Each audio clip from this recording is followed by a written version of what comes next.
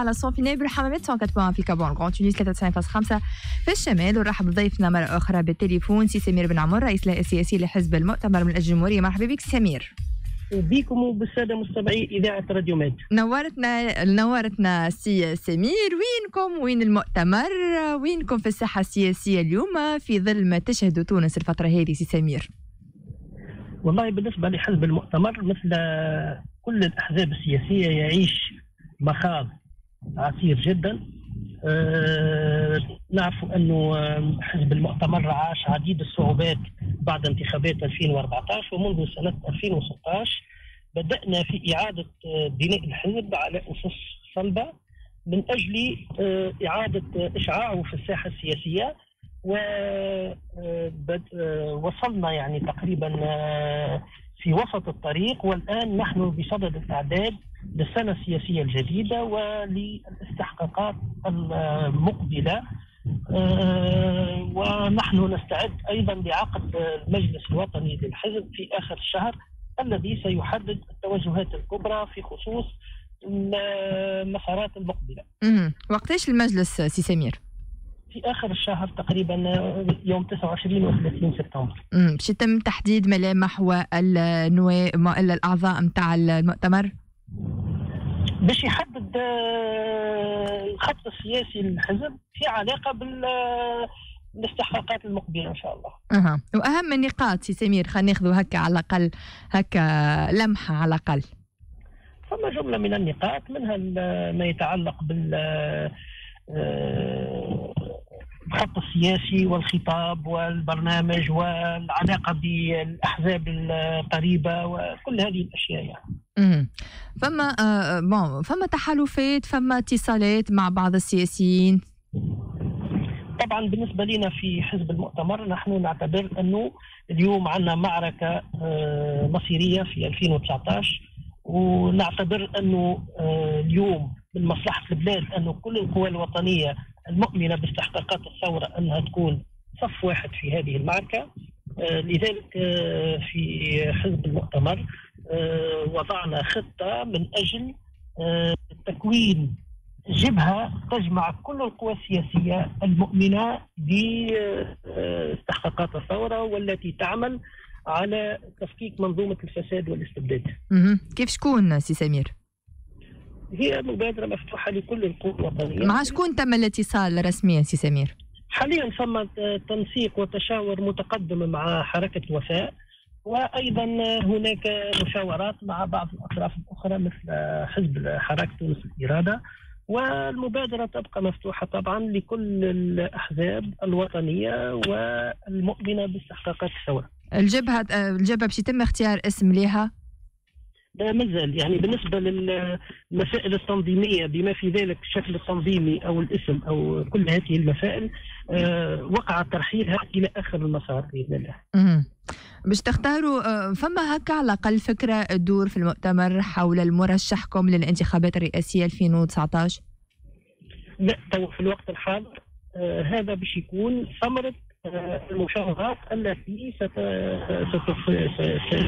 ستتم مع بقيه الاطراف السياسيه. باهي سي سمير خلينا نجيو توا للساحة السياسية في تونس وحكومة يوسف الشاهد والتجاذب الكبير اللي صاير حول الحكومة هذه. فما شكون اللي يعتبر إنه على الحكومة أن تواصل العمل نتاعها حتى للانتخابات خاطر ماناش في وقت اللي باش يتم فيه تحوير حكومي باش تولي فما آه معناها مسار كامل هذا كما يقولوا بطبيعة آه برشا آه أطراف. وفما شكون اللي يقول لك لا الحكومة فشلت اليوم لازمنا نغيره والله نحن في حزب المؤتمر منذ سنة 2016 عندما جاءت هذه الحكومة حذرنا وقلنا أن هذه الحكومة تملك مقومات الفشل ولن تنجح. ففشل هذه الحكومة هو منتظر والحكومة التي ستأتي لن تكون يكون مآلها أفضل من هذه الحكومة لأنها المشكل في السياسات في الخيارات في البرامج وليس في الأشخاص. المشكل أنه أي حكومة باش تجي ماذا ستقدم للناس؟ اليوم النقاش الكل النقاش الكل تمحور حول آه توزيع الحقائب الوزارية وحول آه الأشخاص الذين يتقاسمون هذه الحقائب. آه هل نغير يوسف الشاهد أو نبقي عليه؟ لكن لا أحد تحدث عن برامج هذه الحكومة. هل هي ستكون حكومة تواصل في خصوص البرنامج مع آه، الحكومة الحالية أو انها ستكون حكومة قطيعة وستأتي ببرنامج جديد من شأنه أن يبقى البلاد. هذا الكل ماهوش مطروح. اليوم فقط الصراع والمعركة الحقيقية مدارها هو آه، آه، قصر القصبة في انتظار المعركة الكبرى اللي هي قصر قرطاج. والناس كل تعرف أنه محطة 2019 هي رهان المعركة الحقيقي آه، اليوم آه، وحرب التموقع التي تقع بين مختلف شقوق المنظومة الحاكمة. وبالطبع بالنسبة لنا نحن نحن نعتبر أن هذا الذي يجري هو عبث وعدم مسؤولية من طرف منظومة الحكم. اليوم جاءوا في 2016 آه، جابوا الحبيب السيد وبأسلوب مهين قاموا بإخراجه من رئاسة الحكومة. يعني جابوه في المجلس شكروه. قالوا له انت ناس طيبة وانت ناس خدلت وكذا ويعطيك الصحة. لكن باش نغيروك لأنه ظهر لنا هكا معناها مجرد شهوة من آه، رئيس الحزب الحاكم ظهر له يحب يبدل. مشى بدل جابوا يوسف الشاهد من بعد قالوا لا يوسف الشاهد نفس الشيء. معناها نحبوا نبدلوه. علاش تحب تبدلوا آه كذا؟ يعني لا لا لا, لا تجد من يقنعك ب آه, آه، بسبب التغيير وأكثر من هكا أنه التغييرات اللي المزمع أحداثها هي تغييرات لخدمة طموحات شخصية ولخدمة مصالح شخصية ووقع التضحيه بمصلحة البلد وبال حتى معناها نواميس الدولة معناها الدولة تشلكت الدولة ما خلوا منها شيء. وهذا بالطبع يؤسف له وهذا بالطبع ما ينجم إلا يزيد يغرق البلاد آه، وكل المؤشرات اليوم آه، تخبر بأن وضع البلاد ما يسمحش بهذا التلاعب ما يسمحش آه، بهذا العبث الذي يحدث في أعلى والمعركة اللي قاعدة صايرة في نداء تونس هذا اللي انعكس على الوضع في البلاد سي سمير؟ طبعا طبعا وقت اللي تلقى أنت حكومة الحزب الحزب اللي جابها آه يعمل يعني في بويكوتاج للحكومة هذه يحط في العراقيل أمامها ما يخليهاش تخدم يروج في الإشاعات يحرك في الإدارات في مختلف الإدارات سواء على المستوى المركزي أو على المستوى المحلي أو الجهوي لعرقلة عمل الحكومة لإجهاض كل ما تقوم به هذه الحكومة ففي ظل هذا المناخ وفي ظل هذا الاحتقان كيف يمكن آه، للحكومة أن تنجح وكيف يمكن للبلاد أن تتقدم. به فما إمكانية تحوير وزاري على الأقل؟ هذا تسأل عنه منظومه المنظومه الحاكمة. أي لا رأيك معناها رأيك سي سمير يهمنا بالطبيعه بالنسبة بالنسبة لرأيي هي مربوطة بحسم جملة من المسائل أولها آه، آه، محدودية هذا التحوير لأنه التحوير سيكون تحوير عميق يطال رئاسة الحكومة أو مجرد تحوير آه، جزئي يطال بعض الوزارات على أساس تقييم. هذا الكل بالطبع تحكم أي بحكم بحكم متابعتك للشأن السياسي فما وزارات اللي يستحقوا تحوير؟ طبعا.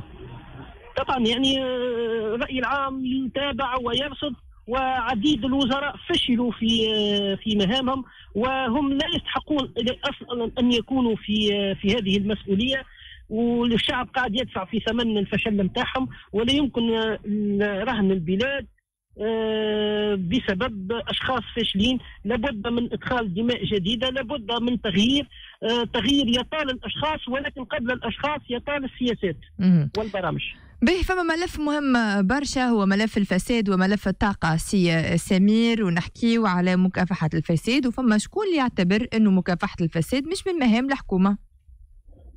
هذا كلام مضحك هذا كلام مضحك وقت اللي نسمعه شخص يتحمل مسؤولية قيادية في حزب الحزب الحاكم يصرح بمثل هذا الكلام السخيف.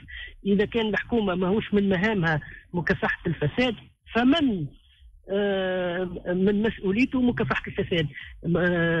الحكومة بالعكس الحكومة اليوم يلزم يكون أول بند في البرنامج نتاعها هو مكافحة الفساد لأنه هذاك السبيل الوحيد للخلاص بالنسبة لتونس. اليوم يقولوا لنا عندنا مديونية كبيرة وصلت أكثر من 78% آه يقولوا لنا ما هو الحل باش نجموا آه نوفروا آه مداخيل لميزانية الدولة بدون اللجوء إلى الاقتراض الحل الحلول موجودة أولها هو مكافحة الفساد ومكافحة التهريب ومكافحة التهرب الضريبي. هذه كلها أساسية ولا يمكن لتونس أن تنهض ولا يمكن لتونس أن تتقدم آه، لأن كل الحلول تتمحور حول هذه الثلاث نقاط. لذلك لابد أي سياسة حكومية لا تأخذ بعين الاعتبار مكافحة الفساد ومكافحة التهريب ومكافحة التهرب الضريبي لن تنجح أي حكومة في معالجة الأوضاع الحاليه.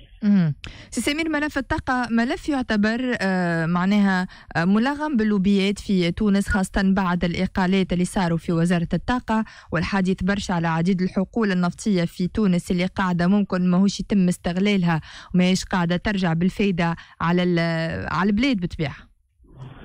طبعا طبعا هذا قلناه منذ سنوات آه، طلبنا بشفافية في مجال التحكم في الثروات الطبيعية للشعب التونسي. طالبنا بالحوكمة الرشيدة. قلنا أن هناك تقارير رسمية لمختلف هيئات الرقابة سواء آه، دائرة المحاسبات أو التقرير الذي وقع إعداده من طرف آه، مختلف الهيئات الرقابية للدولة في أواخر 2014 كلها تشير إلى مواطن الخلل وتقدم توصيات لمعالجة هذا الملف الحارق الذي ينزف يمثل نزيفا لأموال المجموعة الوطنية ولكن للأسف منظومة الحكم كانت ترفض آه، فتح هذا الملف بل وكانت آه، تجيش وسائل الإعلام علاش سي سمير حسب رأيك؟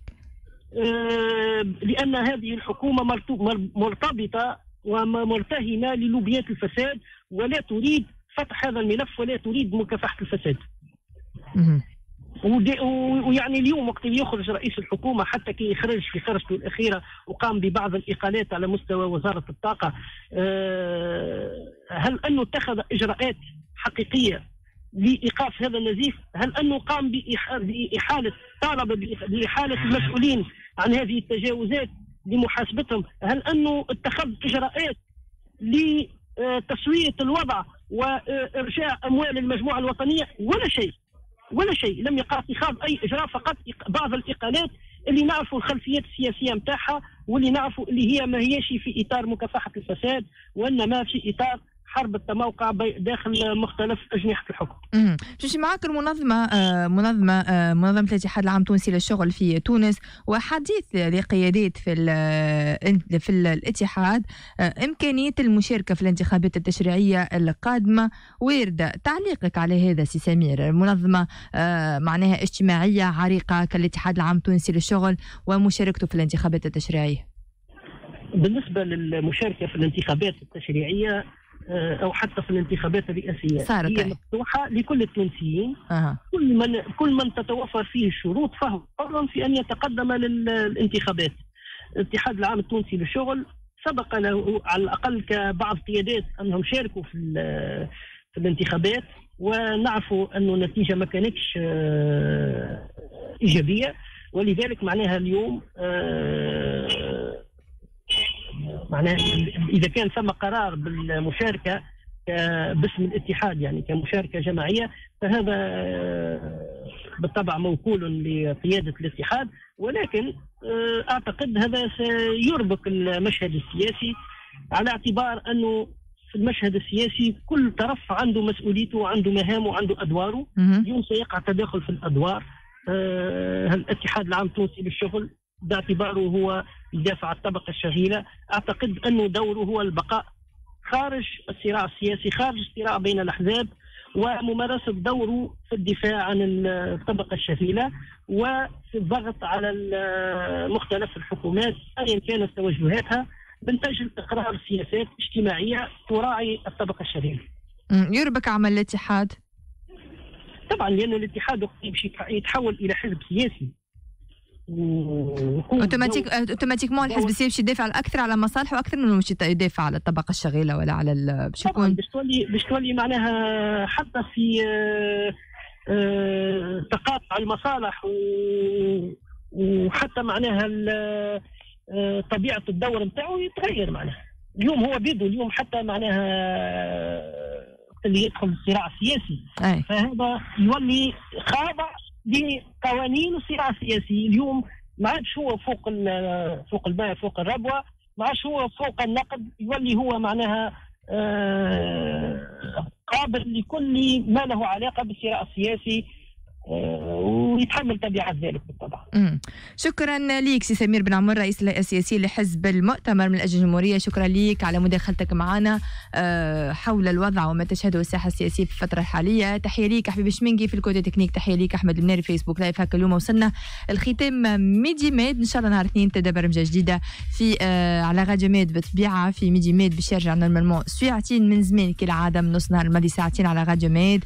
آه حظ موفق للزوم الزملاء الكل في البرمجة الجديدة اللي باش تنطلق نهار الاثنين. وإن شاء الله زاد عودة ميمونة آه، لصغيراتنا للمدارس نتاعهم. وإن شاء الله عام مليء بالنجاح للتوانسة الكل ولتلامذتنا الكل.